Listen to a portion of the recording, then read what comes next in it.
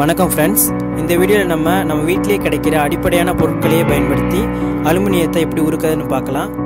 Aluminium வந்து அறநூற்றி அறுபது டிகிரி செல்சியஸ்லேயே உருகக்கூடியது.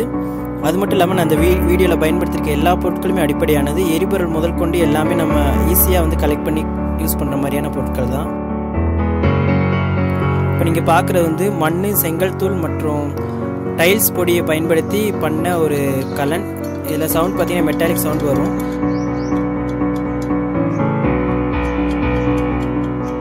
இப்போ இதை பயன்படுத்தி தான் நம்ம அலுமினியத்தை உருக்க போகிறோம் இதில் பார்த்தீங்கன்னா சைடில் இந்த மாதிரி ஒரு ஹோல் கொடுத்துருக்கேன். இது எதுக்காகனா நம்ம வந்து அலுமினியத்தை மெல்ட் பண்ணதுக்கப்புறமா இந்த மாதிரி ஒரு குச்சி யூஸ் பண்ணியே நம்ம இந்த கலனை தூக்கி அலுமினியத்தை எந்த இடத்துல வார்க்கணுமோ அந்த இடத்துல நம்ம வார்த்துக்கலாம். அலுமினியம் உருக்கிறதுக்கு தேவையான எரிபொருட்களில் ஒன்றான காற்று. அதுக்கு நான் என்ன பண்ணியிருக்கேன் அப்படின்னா பேனரை வந்து இந்த அளவுக்கு எடுத்து அதை ரெண்டாக மடிச்சிங்க அப்படின்னா ஒரு பக்கம் வந்து தைக்க தேவையில்லை. இப்போ வந்து ஒரு பேக் பெல்லோ தான் நம்ம பயன்படுத்த போகிறோம் அதே மாதிரி இன்னொரு பக்கத்தையும் நல்லா நூல் வச்சு தச்சுட்டு அதனுடைய கீழ்ப்பகுதியில் ஒரு சின்ன அளவுக்கு ஒரு கேப் விட்டுருங்க. அந்த கேப்பில் தான் நம்ம வந்து ஒரு பைப் வந்து செட் பண்ண போகிறோம் அந்த பைப் வழியாக தான் காற்று வெளியேறும். இப்போ நீங்கள் எல்லாம் முடிச்சுட்டு பார்த்தீங்கன்னா இது இப்படி ஒரு பேக் மாதிரி இருக்கும்.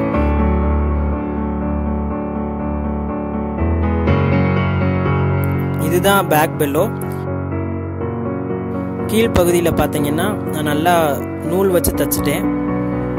காற்று வெளியேற அளவுக்கு நல்லா நெருக்கமாக தைச்சாச்சு. இது இன்னொரு பக்கம் மடித்த பகுதி இங்கே தைக்க தேவையில்லை. அதுக்கு நேர் எதிர்பகு பக்கத்தில் நல்லா தச்சுட்டு நல்லா ஒரு டேப் வச்சு உள்ளேயும் வெளியிலையும் நல்லா சீல் பண்ணிவிட்டேன் அப்போ தான் காற்று வெளியேறாது. இந்த மூலையில் வந்து நம்ம கேப் விட்டு வச்சுருந்த இடத்துல ஒரு பைப்பு வந்து வச்சுட்டு இந்த மாதிரி நல்லா டைட்டாக கட்டிடுங்க டேப் போட்டு நல்லா சுற்றிடுங்க இப்போ அந்த பேக்கோட டாப் போர்ஷனில் ரெண்டு குச்சி அட்டாச் பண்ணியிருக்கேன் இது எதுக்காகனா அப்போ தான் நம்ம பேக் வந்து சீராக பயன்படுத்த முடியும்.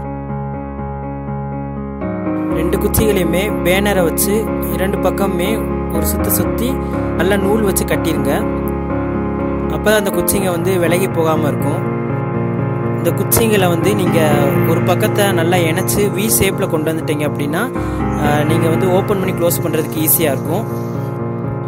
இந்த மாதிரி வி ஷேப் வந்து நீங்கள் கொண்டு வரும்போது வி வீனுடைய அந்த டாப் சைடு வந்து அந்த பைப்புக்கு நேராக இருக்கிற மாதிரி பார்த்துக்கோங்க.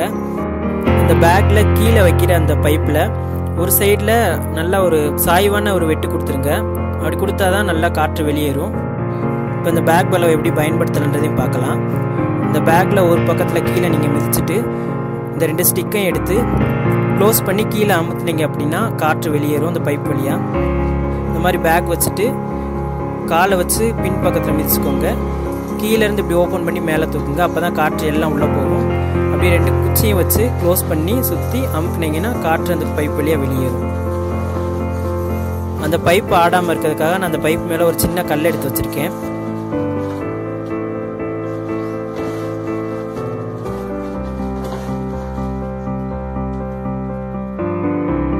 இரண்டாவது மிக முக்கியமான எரிபொருள் கறி. இது நம்ம வீட்டில் இருக்க அடுப்பில் இருந்தே நம்ம அந்த கறியை எடுத்துக்கலாம். நான் கொஞ்சம் கொஞ்சமாக எடுத்து சேகரித்து வச்சதை பயன்படுத்துகிறேன்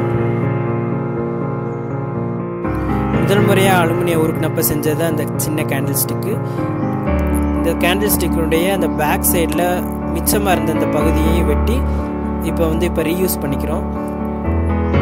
இந்த கேண்டில் ஸ்டிக் பண்ணுறதுக்கு இந்த மாதிரி ஒரு அலுமினிய தகடு தான் பயன்படுத்தி உருக்கி இதை வந்து நான் செஞ்சேன் அதில் மிச்சமான அந்த பொருட்கள் எல்லாம் போட்டு இந்த டைம் அது எல்லாத்தையுமே உருக்க போகிறோம் இப்போ இந்த கிண்ணத்தில் இருக்க எல்லா அலுமினிய பீஸையுமே எடுத்து நான் இந்த கலனில் வைக்கிறேன்.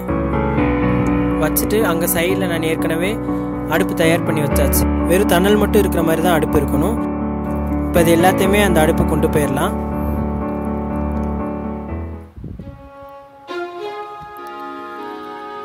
அந்த பேக் பெல்லோலேருந்து வர பிளாஸ்டிக் பைப்பில் நான் ஒரு இரும்பு பைப் அட்டாச் பண்ணியிருக்கேன்.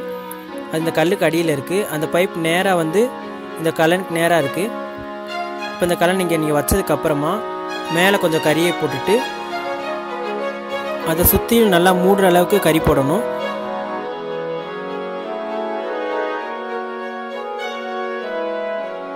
இதுக்கப்புறமா பேக் பெல்லோவை பயன்படுத்தி காற்றை செலுத்த ஆரம்பிக்கலாம். இப்போ காற்றை செலுத்த செலுத்த நல்லா தணல் நல்லா எரியுது.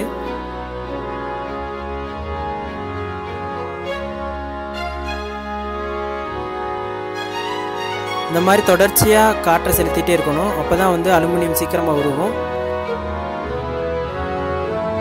இந்த இரும்பு பைப் மேலே நல்லா ஒரு ஈர மண்ணை போட்டு அமுக்கி வச்சிட்டோம் அப்படின்னா இந்த பைப்பு ஹீட் ஆகி இந்த பிளாஸ்டிக் எதுவும் இலகாமல் இருக்கும். அடுப்பு கறி எரிஞ்சு தீர தீர நீங்கள் அதுக்கடுத்து கறி போட்டுகிட்டே இருக்கணும்.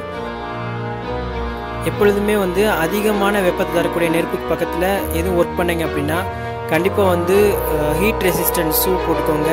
கையில் க்ளவுஸ் மாட்டிக்கோங்க. ஹீட் ரெசிஸ்டன்ட் கோட் யூஸ் பண்ணுங்கள் முகத்துக்கு மாஸ்க்கு கண்ணு கண்ணாடி எல்லாமே யூஸ் பண்ணிக்கோங்க. மெல்டட் அலுமினியம் வந்து ரொம்ப ஹீட்டாக இருக்கும். அது நம்மளுடைய உடம்புல பட்டுச்சு அப்படின்னா பெரிய காயங்களை ஏற்படுத்தக்கூடியது. அதனால் பாதுகாப்புங்கிறது ரொம்ப முக்கியம்.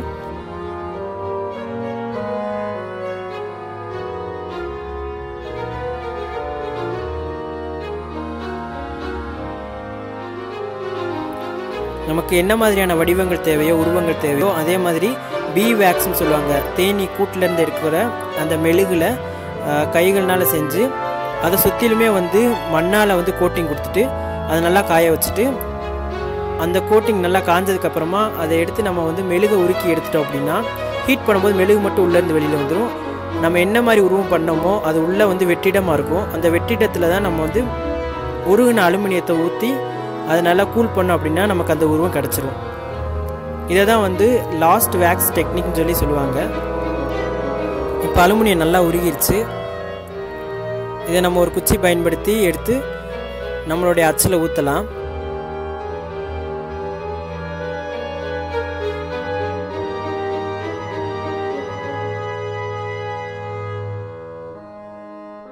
அச்சு சரியாக வராதனால அந்த அலுமினியம் வந்து சுற்றி வெளியில் வந்துருச்சு. இருந்தாலும் பரவாயில்ல நம்ம அந்த அலுமினியத்தை வந்து வீணாக்காமல் மறுபடியும் அடுத்து யூஸ் பண்ணுறதுக்காக கீழே ஊற்றி வச்சுக்கலாம்.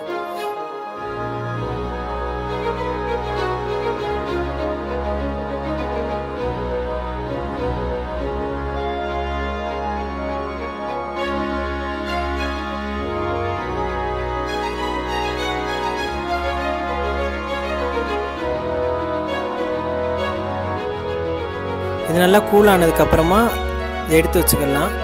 ரீயூஸ் பண்ணுறதுக்கு இது யூஸ் ஆகும்.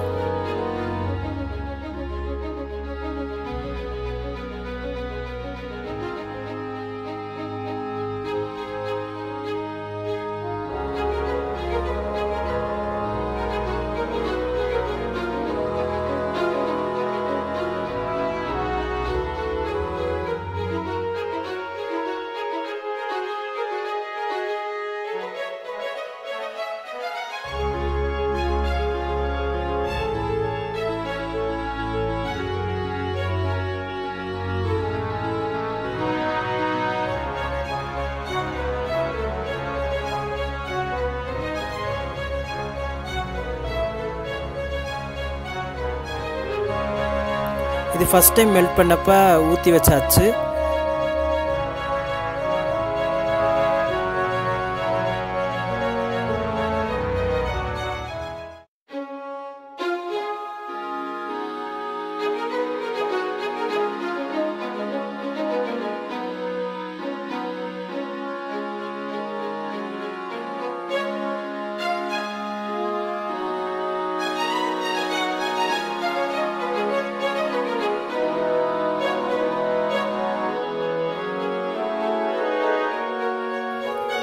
ஃபஸ்ட் டைம் பண்ணும்போது ரிசல்ட் நல்லா கரெக்டாக வந்தது. இப்போ நீங்கள் பார்க்குற அந்த கேண்டில் ஸ்டிக்கு கீழே இருக்க அந்த எக்ஸ்ட்ரா இருக்க அலுமினிய பகுதியை தான் கட் பண்ணி அந்த வீடியோ ஸ்டார்டிங்கில் நீங்கள் பார்த்தீங்கன்னா யூஸ் பண்ணது.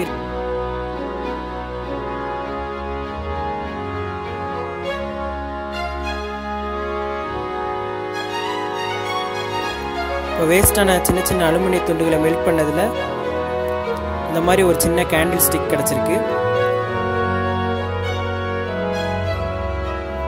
செகண்ட் வந்து நமக்கு அலுமினிய கட்டி ஒன்று பெருசாக கிடச்சிருக்கு. நெக்ஸ்ட் டைம் ஏதாவது உருக்கி பண்ணுறதுக்கு யூஸ் பண்ணிக்கலாம். அப்புறம் கீழே இருக்க அந்த கல்லில் இருக்க மற்ற எல்லாமே இந்த கல்லில் இருக்க அலுமினியம் பீஸ் எல்லாத்துலேயுமே சாம்பலும் டஸ்ட்டும் நிறையா கலந்துருக்கு. இது நம்ம மறுபடியும் பயன்படுத்த முடியாது.